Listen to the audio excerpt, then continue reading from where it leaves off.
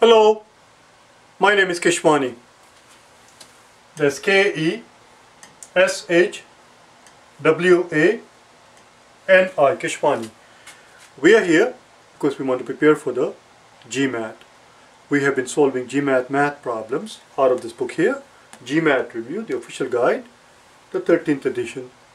If you do not own this book already, purchase it immediately. You're going to need it. The book contains 230 problem solving questions. It has 174 data sufficiency questions. We have already solved every single math problem from the book. If you're interested in watching any of the original solutions to the problems, you will find the original solutions from day number 1 through 250. Right now we are in the process of redoing the problems and we are on page number 178. Please turn to it. Page number 178, the very first problem that you see on the page number 182. The problem is already on the blackboard. Here is what we are told. We are told that we bought we bought 60 cameras for resale. We're going we're going to resell them, 60 of them. We are told that out of the 60 that we bought for resale, we were unable to sell six of them. Six were not sold. Those six that were not sold were returned. We returned the unsold unsold one for 50% of the cost. The wholesaler gave us 50% of the credit, not the whole credit. The rest of them, 54 of them, were sold for $250 each, which we are told represents a price which, which includes a 20% markup. The question simply is, the question simply is, appro approximate profit or loss, what we want to find out is the approximate profit or loss. We don't know whether we're going to make a profit or a loss as a percentage, as a percentage of cost. What is that? Let's find out, shall we? Let's get going. So first thing first, we know that we sold it for $250, which includes a 20% markup. So the price that we're selling it for, the price that we're selling it for, which is $250 we are told, it includes the cost, the actual cost, plus a 20% markup. A 20% markup is a fifth of the cost, a fifth of the cost, which, which represents the 20, this represents the 20% markup. Let's see what we can do here. Let's solve for C in this equation here. So this is going to give us 6 fifths C equals 250, which means C equals 250 times 5. 250 times 5 over 6. 250 times 5 over 6. I'm going to write this a little bit lower, or perhaps we can do it over here. 250 times 5 over 6. Okay, watch what happens.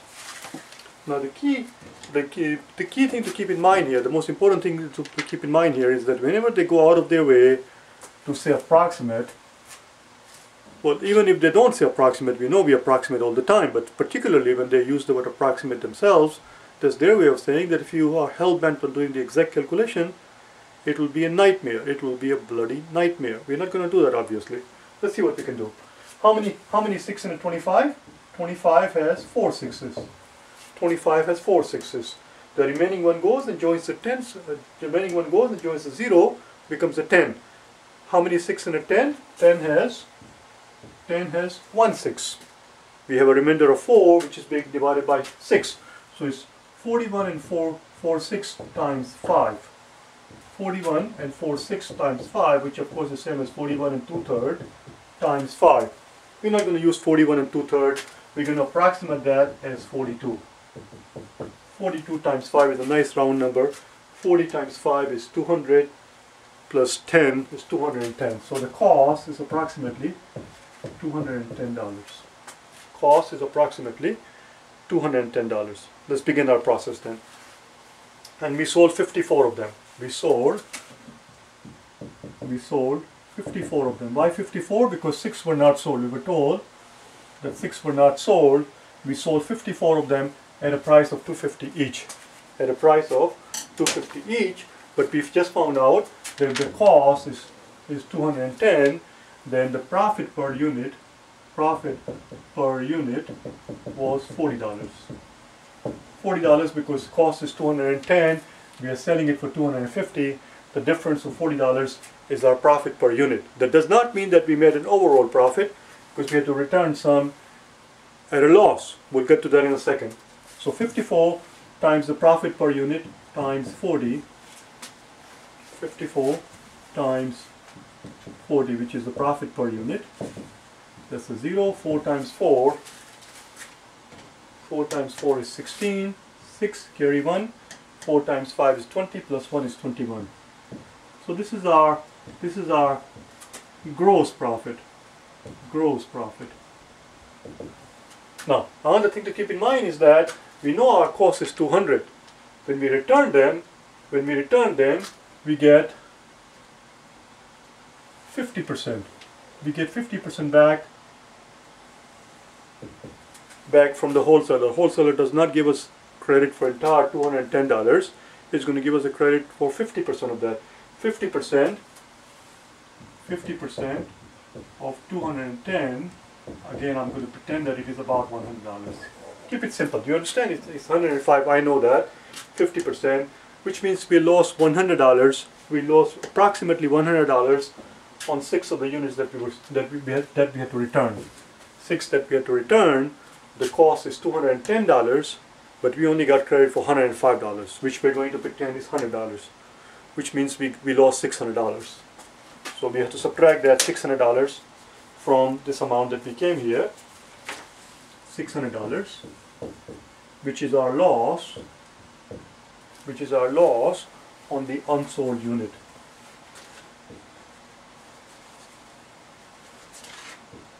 which is our loss on six unsold units. And this is our net profit. As we can clearly see, we have a profit. 60, 11 minus 6 is 5. We made a $1,560 of net profit. What are we going to do with this information? We made a net profit of But this is not actually net profit. This is net. Uh, this is our net profit because we made a profit of $40 per unit. One more time, we made a profit of $40 per unit because we are selling them for 250 each. We are buying them for 210. A difference of $4 is the profit per unit, which is $40. We sold 54 of them. This is what we got. $600 we got. We, we had to take a hit because we were we were unable to sell six of them. This is our profit 1560. Let's look at the answer choices. Because the question was, if you recall, the question was approximately profit or loss is what percentage of the cost.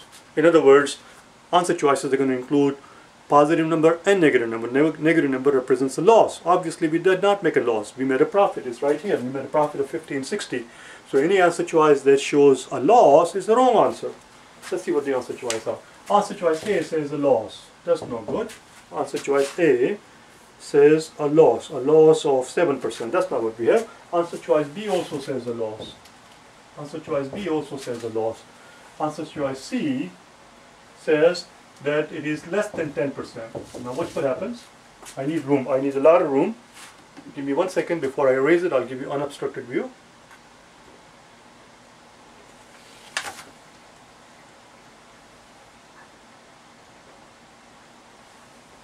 Now the question is, our profit or loss, which we know now, which we know is the profit, is what percentage? So we don't have to worry about the loss. The profit is what percentage of the cost. The profit is what percentage of the cost, which we're going to do on the top. The question, the answer that we have to question that we have answer now is our profit. Our profit is what percent of cost.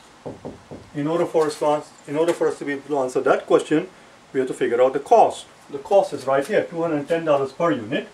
Our cost is $210 per unit times 60 because we bought 60 of them. So that's two zeros. 6 times 1 is 6 and 6 times 2 is 12. Our cost is $12,600. Keep listening. $12,600. Our profit is our profit is 1560. We know I need room. We know we know 10% of 12,600 is is 1260. Of course, as I always remind you, this is by design. Do you understand? I do know better. This is by design. I go at a very leisurely pace on purpose. We are not in a hurry. We are here to learn. But in the exam, you don't have that luxury. You understand? I'm fully cognizant of it. And of course, in the real exam, we don't take a, take so long to explain everything to ourselves in a nitty-gritty way like like we do here. But anyway, here's the point. This amount represents 10% of the cost. This amount represents 10% of the cost. Our profit is 1560. Our profit, our profit is equal to 1560, which is greater than 10% of 12,600. we made a profit of more than 10%. Is there any answer choice that says less than 10%? C, I have it on the blackboard already, but I do not C says 7%. We did not make a 7% profit. We made, a, we made a profit a hell of a lot more than 10%. You understand? The answer choice has to be either D. Answer choice has to be either D or E. We do not know. Now, what does E say? E says 15%. I'm going to work with E. I'm going to work with E only because I like 15%. I like 15% a lot because 15% is very easy to figure out. And we're going to do that here. Okay, watch. We're going to do that right here.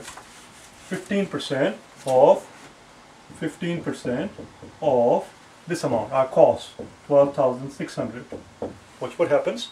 10%, we already know 10%, 10% is 1260. 10% is 1260, this is 10%. And half of that is 630, which is 5% we can stop right there. In the real, real, in the real exam, we don't actually do everything out. We can stop right here. That is 1800. That's almost 1900. We did, make, we did not make a 1900 profit. We, need a, we made a profit of 1500. We did not make a 15% profit. This is almost $1,900. This is almost $1,900. We did not make a profit of $1,900. This is 12 plus 6 is 18 plus another one is 19. We only have a profit of $1,560. The answer is D. The answer is D. That's all. Let's move on then to the next one, number 183. Number 183. I'm going to get out of frame just for one second. I'll be right back. I'm not going anywhere. Okay, we're going to go to the next one. This. Okay.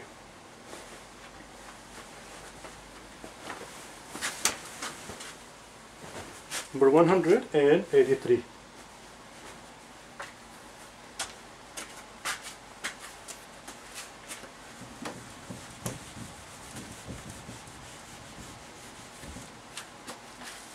Number 183 is an interesting question.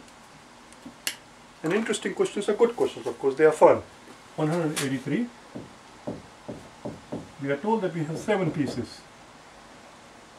We have seven pieces. We are told that the average length is 68 centimeter. We are also told that the median length median length of these pieces is 84 centimeter. We are also told that the longest piece that we have, the longest piece that we have, we are told, is if the length of the longest piece, if the length of the longest piece is 14 centimeter more than the four times the shortest piece, the length of the longest piece is 14 more than 4 times the shortest. So if you're going to represent the longest with the letter L, L equals 14 plus 4 times S. That's our equation. I don't know why I put a parenthesis around L. L equals 14 times S. That's what, that's what we are told. The longest piece is whatever 4 times the shortest piece is plus 14 more inches let's see what exactly what they're looking for. They're looking for the maximum possible length of the longest piece. Maximum possible length of the longest piece. Well, let's see what we can do.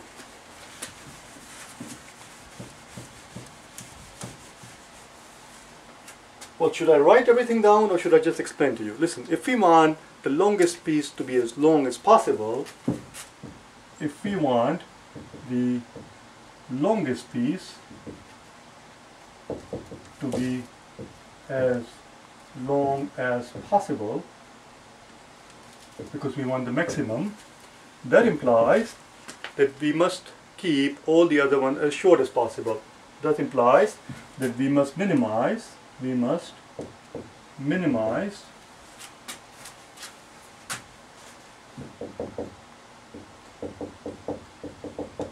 the length of all the other six because there are seven of them. We want the length of the other six to be as short as possible, the shortest possible pieces that we can find because we want one piece, the longest piece, to be longest possible under these constraints. The constraints are very simple. One constraint is that the average has to be 68 centimeter, the median has to be 84 centimeter, and the longest piece has to be of such a nature that it's got to be four times the shortest piece plus the 14. See what we can do. We can arrange we can arrange our pieces in order from the long, from the shortest from the shortest all the way to the longest in terms of length. So shortest one of course is S here, that's our shortest. Then comes the next one, let's call it N2 because it's the second piece. Then we have N3, which because that's the third piece. The median has to be 84. And since there are seven pieces, since there are seven pieces, which is an odd number, which means the median of the seven pieces is actually the fourth one. It has to fall right in the middle. Then we have our N5, N5, then we have N6, and finally the longest one. This is our median.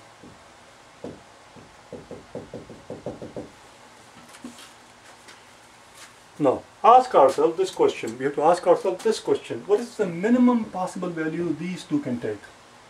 The minimum possible value the second piece and the third piece can be, they cannot be, second piece and the third piece cannot be any shorter than the shortest piece. But there is nothing there to prevent us from making them as equal to as long as the short piece. It is quite possible for us to make the N2 the second piece and the third piece because we want them to be as short as possible. The shortest possible value, shortest possible length, shortest possible length.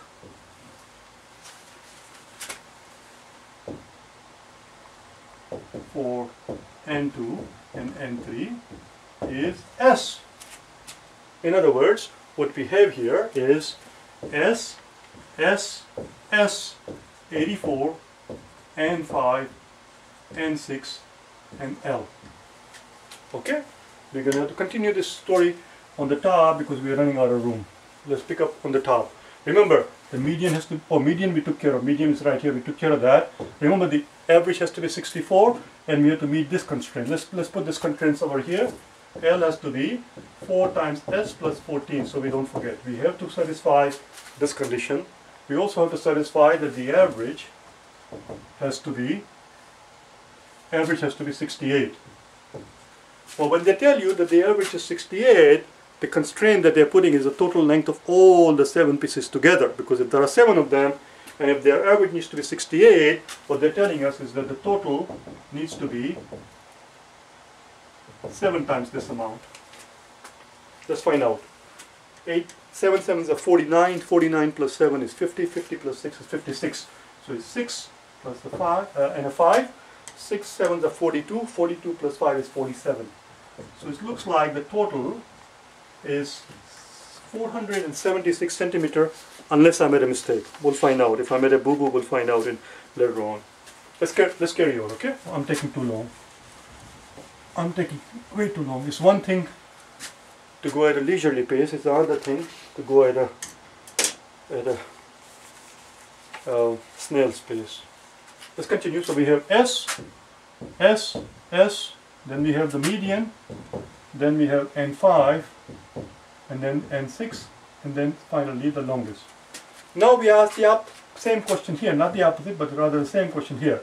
What are the what are the shortest possible values for N5 and N6. The fifth piece and the sixth piece, fifth, fifth and the sixth piece cannot be shorter than the median. Median falls right in the middle. This is the median. This is the median. The shortest possible value, the shortest possible length for N5 and N6 is 84. It is quite possible for the for for the fifth piece and the sixth piece to the same length as the median. Why not? That is the shortest one. They cannot go any shorter than that. Because that guy has to sit in the fourth spot. Let's continue. We are almost there. That's it. We are almost there. So we're going to put it in here. So we get S, S, S, 84, and then N5. Right here, N5 is going to be 84 and 6 is going to be 84 and then finally the longest piece which is right here 4s plus 14 we are done guys we are done now I'm going to change the color purely for the flair of the dramatics. So here are the sum. 1 2 3 4 5 6 and 7 and that total has to be this guy right here. 476 we are done. We just have to solve this thing for s and the rest is downhill. I forget what the question was asking. Was the question asking for the length of the shortest piece or were they looking for oh they were looking for the length of the they were looking for the longest possible length that we can have for the longest longest piece so they're looking for L not the S. It doesn't matter. Once we have the S we put it in there and find the L. Let's do it shall we? Now this is just a simple, simple linear equation and that's all there is. So we have s plus s plus s, that's 3s, plus 4s, we have 7 s's, plus 1, 2, 3, 3 times 84, plus a 14, don't forget the 14, plus a 14, has to equal 476. 476. We need the room obviously, so we, we need to erase all of this thing. Give me one more quick break before I erase the rest of it. The rest is of course very simple.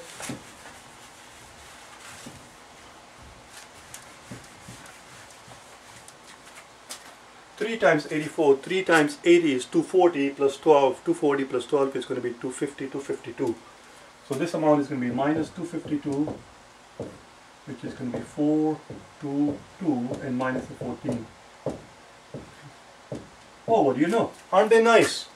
Aren't they nice? By the time you subtract this amount, which is right here, and by the time you subtract this amount, you end up with 210. That represents 7 S's. Aren't they nice? The shortest possible value is 30. If the shortest possible value is 30, then the longest possible value that we can have is right here, which is 4 times 30 plus a 14.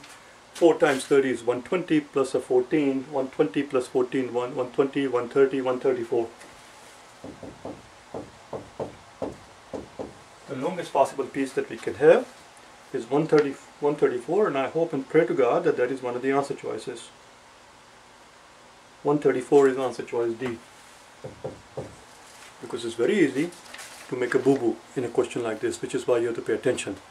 And it requires even more attention, it requires even, it requires a far greater concentration when you have to babble at the same time, like I have to do here. If you just have to do it by yourself silently, then you can concentrate.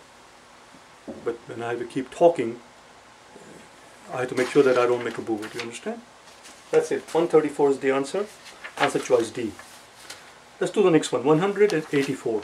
184 which is the very last one in the column let's get that out of the way too but first I'm going to give you the un unobstructed view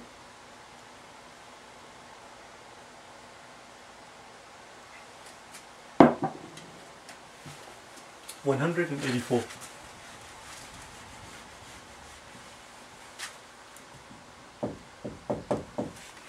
One hundred eighty-four says, Lois says, Lois says,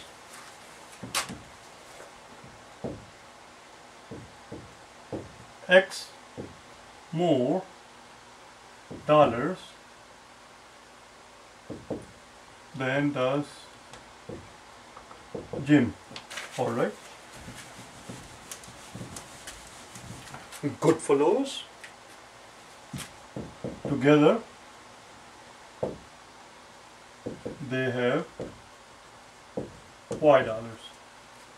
Question is how much does Jim have? Now listen, this is a very straightforward, very simple question, but it is an algebraic question, and just like any other algebraic questions, we always have two choices when we get to the algebra problem in the exam. Two choices are either we can solve it algebraically, in a classical way, in traditional, orthodox, academic way, or we can plug in numbers. It's a very simple problem. We can do it either way. For example, for example, if we if we represent L for Lewis, we know that Lewis has X dollars more than the amount that Jim has. If we represent J for the amount of dollars that Jim has, then Lewis has the amount of dollars that Jim, Jim has plus X more dollars. So it has X more dollars. That's our first equation. But we also know that together, together they have Y dollars, which means Lewis plus Jim has to equal Y. And the question simply is, how much does Jim have? We, we want to solve for J. Well, let's, let's put this equation in here. L we know is J plus X. L we know is J plus X. J plus X plus J equals Y. We are almost done. It's very simple. And we are interested in solving for J. So 2J equals Y minus X and therefore J equals Y minus X over 2. That's our answer. Y minus X over 2. That's it, we're done. Another way to solve the same problem, as I said before, another way to solve the same problem, instead of doing it algebraically, which is actually not a very bad algebra, it's not a very nasty algebra, it's very simple, straightforward algebra. But another way to solve this problem is to just plug in numbers, just make up some numbers. For example, for example, we're going to we can pretend that Lois has ten, we, we can pretend that Lois has ten dollars. Lois has Lois has Lois has X dollars more than Jim. Let's make, a number for Jim. Let's pretend Jim has seven dollars and which is and Lois has ten dollars. Lois has so what we what we're saying here is that Lois has ten dollars, which is three more dollars than than the amount of money that Jim has, which is seven dollars. One more time. Lois has ten dollars, which is three more than the amount of money that Jim has. The question is how much does Jim have? Jim has seven. Now all you do is all we do is we go through the answer choices. Wherever we see L, wherever we see Oh, actually, we're not going to see L, we're not going to see J in the answer choices. The answer choices are going to have X and J, because those were our creation. Whatever we see X, we replace it with 3. Whatever we see Y, we replace with the amount that we come up with. Together, they have Y dollars. Well, if we're going to pretend, if we're going to pretend that Lois has $10, and if we're going to pretend that Jim has $7, then Y is got to be 17. Because together, they have $17. Lois has $10, Jim has $7, which is why Lois has 3 more dollars than Jim does. Wherever we see x, we replace with 3. Wherever we see y, we replace with 17 the answer choices. And we keep on going until we get the answer that gives us 7. 7 is our punchline. 7 is our punchline. And as you can see here, this one tells us y minus x. y is 17. 17 minus 17 minus x, which is 3 over 2. 17 minus 3 is 14. 14 over 2 is 7, which is what we are looking for. Which is what we're looking for. Jim has $7. This is Jim. Question was, how much money does Jim have? Jim has $7. That's what we're looking for. That's, that's what we refer to as our punchline. And this is our punchline. And that's answer choice A. Now if you go through all the other answer choices, if you go through all the other answer choices and replace the x and the y by, the, by their respective value, replace y by 17 and replace x by 3, when you go through all the answer choices, you will see that no other answer choice, no other answer choice is going to work out to be 7. The answer is 7. Answer choice is A. I'll see you tomorrow, okay? Bye now.